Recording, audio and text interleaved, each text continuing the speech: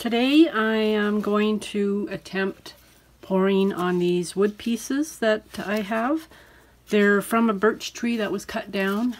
I'm not sure what was wrong with the tree, but it dried for approximately a year because it's hardwood and cut them in thin pieces like this. I've got another one and I'm going to try to pour on them. So what I'm going to do right now is I'm going to prime them. Um, they're not in the best shape. As you can see, there's little pits in them. So I'm going to try and prime them really good. And then I'll come back and go from there. Okay, I'm back. And I had to put a couple of coats on. the first coat I put on was just a thin coat mixed with Floetrol, but it seeped right into the wood very dry, so it soaked right in. And the wood is really not in the great greatest condition. As you can see on the other side, there's little divots everywhere. So anyway, so I got paint straight out of the bottle and I put a lot on. Still a little bit dampish, but I'm going to start taping now. Uh, I'm going to try to tape the edge of this. If I can't get it to stay on because it's such a fine edge, I will just leave it. Um, and the, the painting I'm going to do, I don't think it will matter anyway. I'm just going to try to keep it away from the edge. And this one I, I didn't quite paint to the edge. I want the edge to be raw like wood. So I'm going to try and tape around here. But I'm going to tear the tape and not make it like straight so that it's kind of jaggedy and I hope that works. So I will time lapse this and uh, I'll see you when I'm back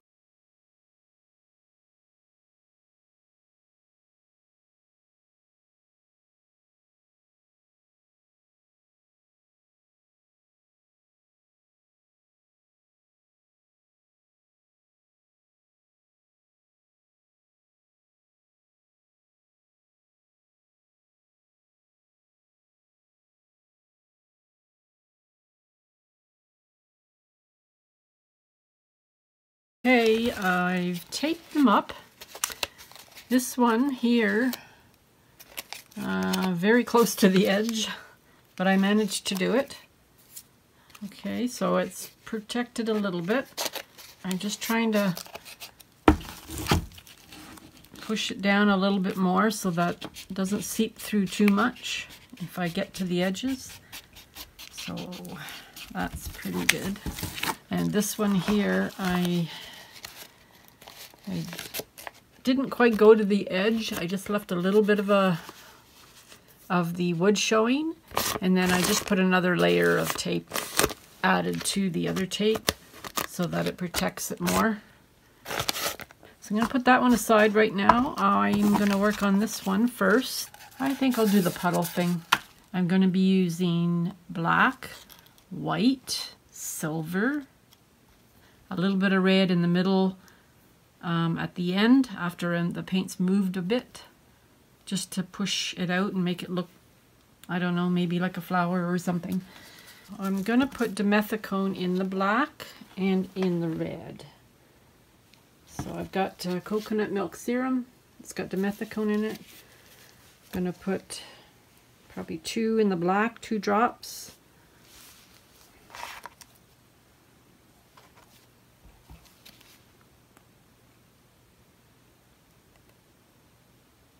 two. One in the red. It's over here. That's it. Give it a stir.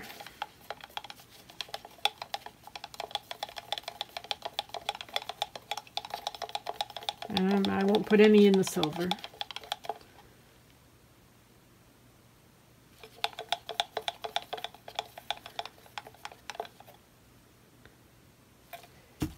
just going to show you the consistency of the white as I mix it.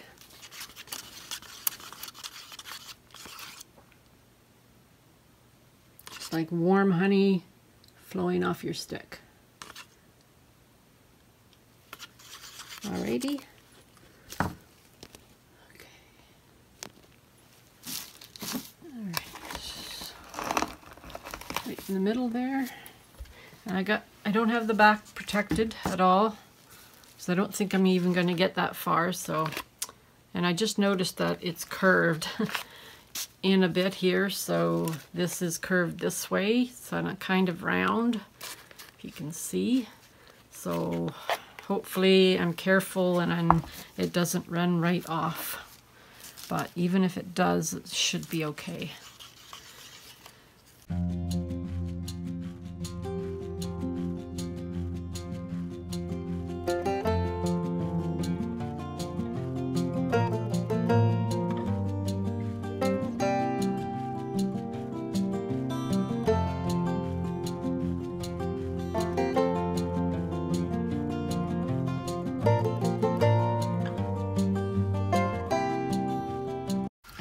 Little blow mini blower thing here. It's better than using a straw.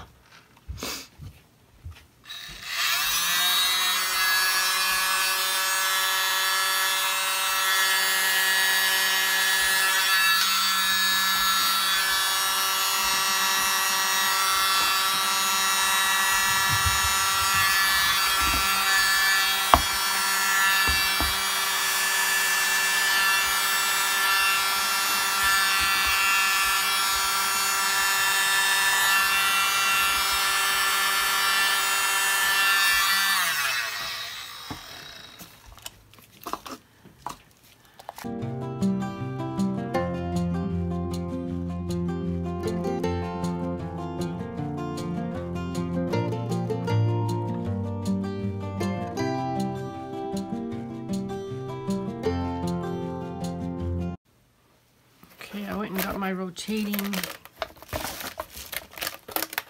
my rotating thing here so I can spin it.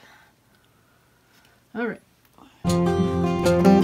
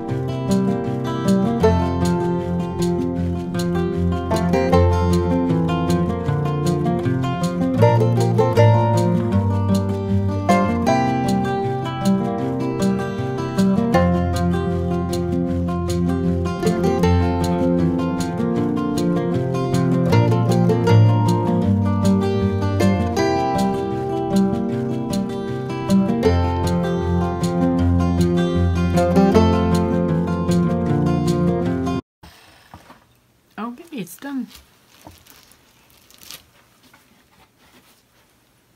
I think it's pretty neat.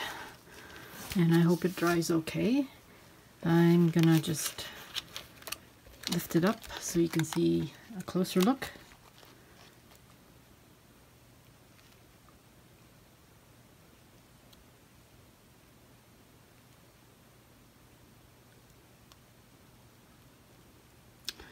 Okay, so I am gonna put this away and I'll be back to do the next one. Back to the second one. I'm just going to pour it on. I'm gonna pour the paint in the cup on the side and just a few times, I don't know, a few different layers.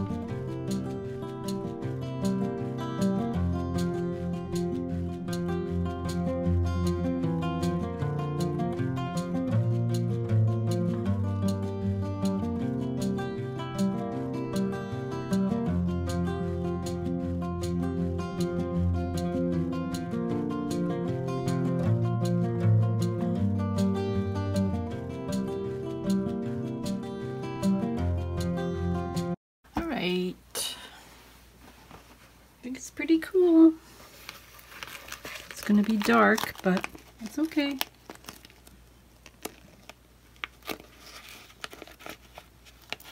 And I hope it doesn't crack because it's very thick. Uh, the paint wasn't as thin as I wanted or as I should have been. So, we'll see. I will um, come back with the dried results of both of them. Um, if you like my videos, please subscribe and hit the like button. And if you if you have any comments, questions, uh, just leave me a comment in the um, below the video, and I will get, gladly get back to you. So, bye for now, and uh, I'll see you when it's dry. Take hello. So I am going to see if my uh, paintings are dry. As you can see, I covered them up with a box that I made so that they would take um, longer to dry because the paint was so thick I was worried that they wouldn't dry but they would crack. So, let's see. Okay, they are dry. So I'm going to take them over to the table here and I'm going to take the tape off. Okay, there's one. And there's the other one.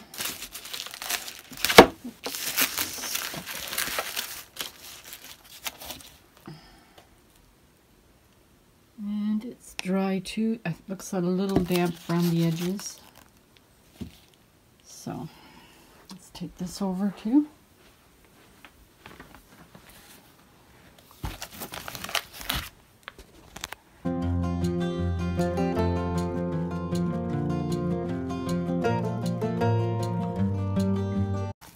It's coming off good. It looks like I should have sanded the wood down more because as you can see the grain through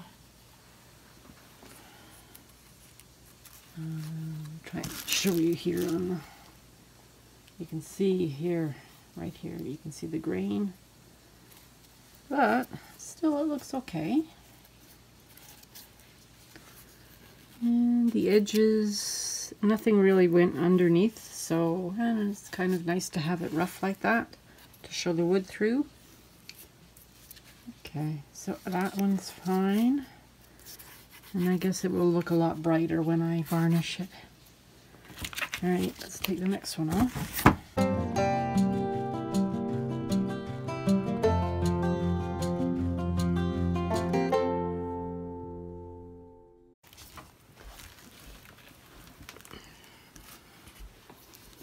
So it's pretty good. It didn't really, it only seeped under a couple of spots, really. Nothing, nothing great. I mean, nothing a lot, uh, sorry. um, it's fine. So it looks cool. I like it. And it dried. Okay, it didn't crack.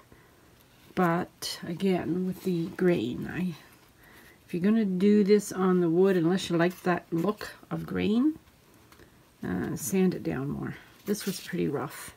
It was cut with a uh, chainsaw. So it's pretty rough, but it's okay. It'll look a lot nicer once it's varnished. And the bark is still there on the edge. Okay. So anyway, it worked out. Alright. Thank you for watching. Have a great day. Bye for now. Here's the dried results. I'll zoom in.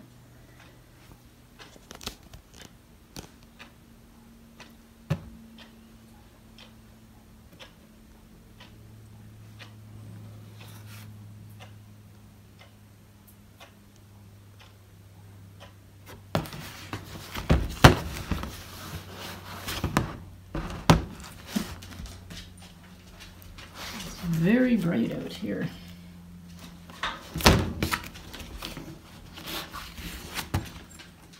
Can hardly see what I'm doing. It's so bright.